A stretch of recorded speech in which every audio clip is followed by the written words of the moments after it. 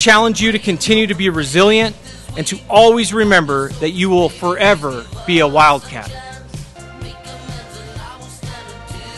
We leave West Ranch and move on to the next chapters of our lives. We carry with us all the lessons we've learned, the memories we've created, and the friendships we made. We are ready to take on the next chapter of our lives. Graduates from the West Ranch class of 2023, congratulations. I cannot wait to see who you become. Right side to the left. To the class of 2023, congratulations!